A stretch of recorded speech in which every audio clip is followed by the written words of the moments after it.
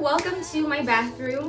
this is going to be my long awaited and highly requested skincare video. I've had so many people DM me asking me what I use for my skincare routine, so I have so much to pack into one video and I don't want to make it extremely long. As I mentioned in my last video, I don't want to say that something is completely right or completely wrong because everybody's skincare routine is going to be different. What works for me just might not work for you. I have combination skin, which means that I get oily in certain areas like my forehead, my nose, and my chin, and sometimes even my cheeks right here. And then the rest of my skin can get super dry. That being said, here's the order that works for me. Oh, and I should mention, this is my morning routine. Now, the first step for me is going to be a cleanser. This one here is the Origins Checks and Balances. It's a very frothy face wash. I actually quite like it. It's almost out, as you can tell, but it lasts so long. This was a limited edition one I got probably like eight months ago, and I'm just now barely running out. I mainly like to use this one at the end of the day after wearing a full face of makeup. Once I remove it with a makeup melting balm, I like to go in with this one because I feel like it really removes all of that makeup. My other favorite face wash is this one by the INKEY List. It's a salicylic acid cleanser, so I think it's a really nice way to start the day. It also says that you can use it in other areas than your face, such as your back or your chest. This one is really lightweight, very clean, super inexpensive and affordable. Since it's morning, I'm gonna go ahead and use this one from the INKEY List.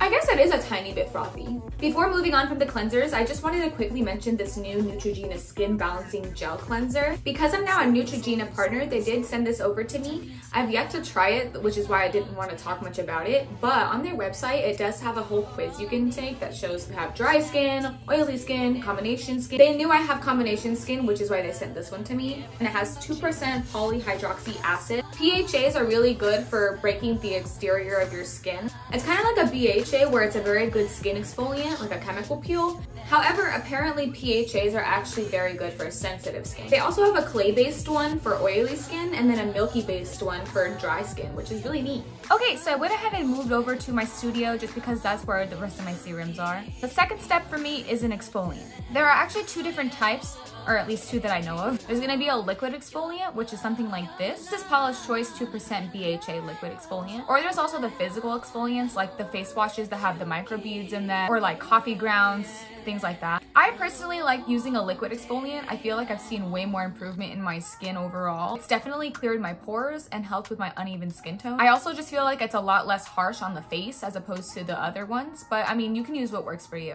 I just take a little cotton pad, apply a little bit, Another thing to note with exfoliants, you don't have to use them every day just because they can be a little bit much for sensitive skin especially. But basically what this is doing is unclogging and shrinking any enlarged pores. And as I said earlier, it smooths and evens out your skin tone as well. It's super lightweight, there's no scent to it at all. I love Paula's Choice products. I will say they are a little bit on the pricier side in comparison to all the other products I use. But if you're gonna splurge on anything, it has to be this. Like ever since I got this, it's an absolute staple in my skincare routine. Ooh, I almost forgot my toner. So this is not really a necessary step. I've read that you don't really need a toner. It kind of just depends on your skin and I honestly don't use mine very often. However, I do love this Origins Mega Mushroom Relief and Resilience treatment. Because an exfoliant can dry out your skin, it's nice to follow up with a toner just to kind of bring your pH levels in your face back to life. In other words, give some hydration to it. So I just take another one of those cotton pads. I love the way this smells. Again, this is a price pricier item.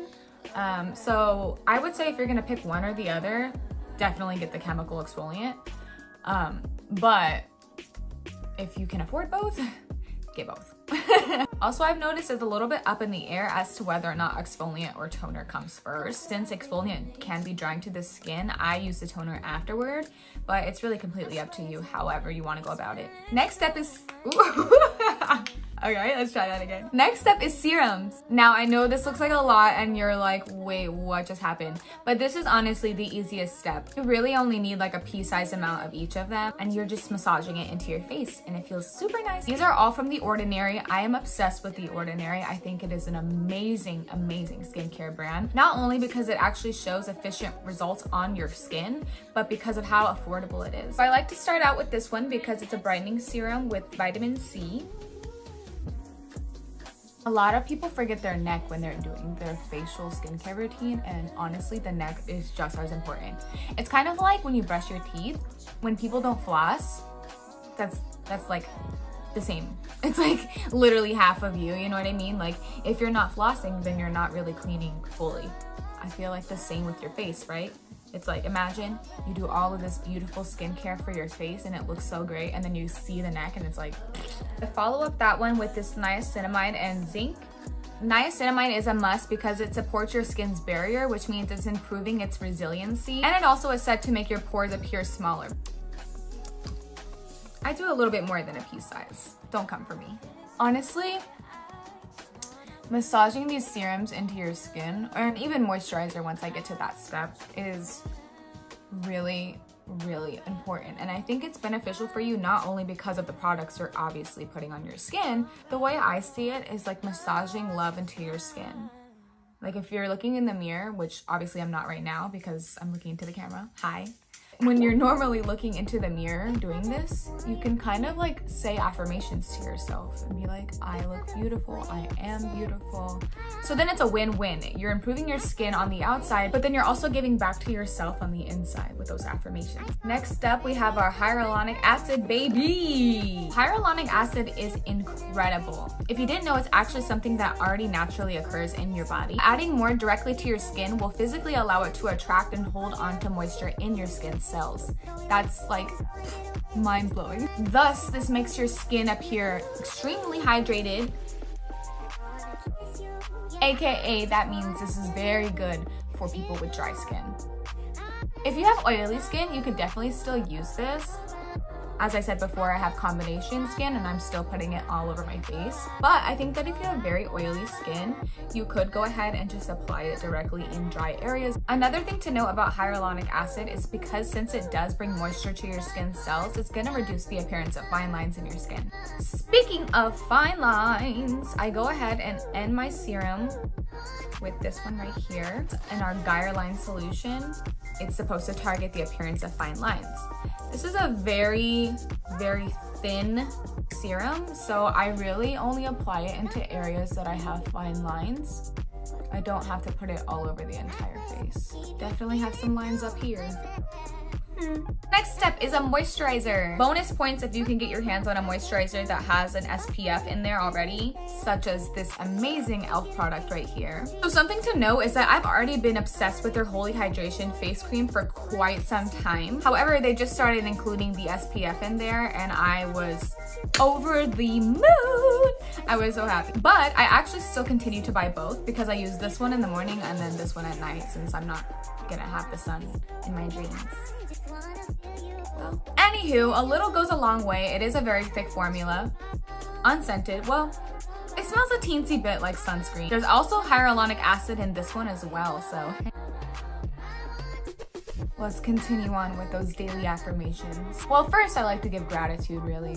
Thank you for another day. Forgot to add this to the moisturizer because I actually don't normally use it in the daytime. I was going to do it for the video, but I forgot because it's not a normal part of my routine. What this is, is 100% organic cold pressed rose hip seed oil from The Ordinary as well. Normally what I'll do at night is take just about as much moisturizer as I just used on the face and put it into my hand. And then I'll go ahead and just have a few drops of oil added into the moisturizer, mix it up together and apply it to the face because it keeps it very hydrated. Then I have this Laneige, Laneige, I'm, I'm really not sure how to say that, sorry. Lip sleeping mask. It's obviously not nighttime, as I've said that 5,000 times. Just for the sake of applying it, I'm just gonna apply it for you just so you can see you really don't need a lot. If you have smaller lips like me, then you really don't need a lot and it'll last you a long time. I actually just got this in the mail last month because it was part of a birthday gift from, from Sephora. Shout out Sephora, thanks girl. I really, really, really, really, really like it. They have so many other different flavors. I mean, not flavors. I mean, maybe. But they have so many other different scents and um, or would it be flavors? I don't really know. They have a bunch of different ones. They have a new peppermint one for the holiday season and I really want to try it out. All right, and now I'm wrapping it up here with an actual sunscreen because I don't think people really realize just how much sunscreen you need, especially when you're going outside directly in the sun, or even not the sun, like even when it's overcast, those rays are still coming through. So here we have the Dr. Dennis Gross Dark Spot Sun Defense Sunscreen. This has an SPF 50, which I really, really like. I think that SPF 30 and above is pretty good, but SPF 50, you're definitely getting the job done. This has like a, it's, I guess maybe to some people it smells like sunscreen. It, it doesn't have that traditional sunscreen smell to me. I really like the way it smells. I don't know, I'm, I'm weird. As you can see, no white overcast. Looking good, like I should. I love it. Little goes a long way. Pricey product. But what is money when it comes to skincare? Uh, all right, well that's it for my skincare routine. I'll go ahead and list all these products below, that way you can check them out for yourself. Something to add is that for my nighttime routine, I probably wouldn't do the exfoliant again. I think twice in one day is entirely too much. Probably the only thing I would change is like I said, I don't use the SPF sunscreen at night. I do add the rosehip seed oil, and sometimes I do add also retinol. Retinol can be kind of a lot for sensitive skin, so I would definitely read into it. That way you don't buy a product that has way too much for you. I personally don't use it on a daily basis. Also, if you're using retinol, you definitely should be using sunscreen since it does allow your skin to become more sensitive. Other than that, the nighttime routine is basically the same. But again, as I said earlier, whatever works for me might not work for you. I just wanted to share this with you all since it might help somebody. If you have any other questions, definitely feel free to ask me. And remember, skincare is self-care. Bye! I also feel like it's less harsh on less less harsh.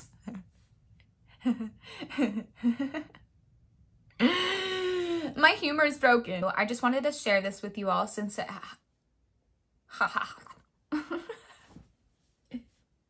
all right, the next step we have the Morse...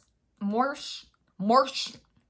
Smorgasbord. It's gonna feel so good the rest of the day. The rest of the day. Until it's nighttime. And then I do it all over again. And then I wake up a goddess with clean skin. Thank you, thank you.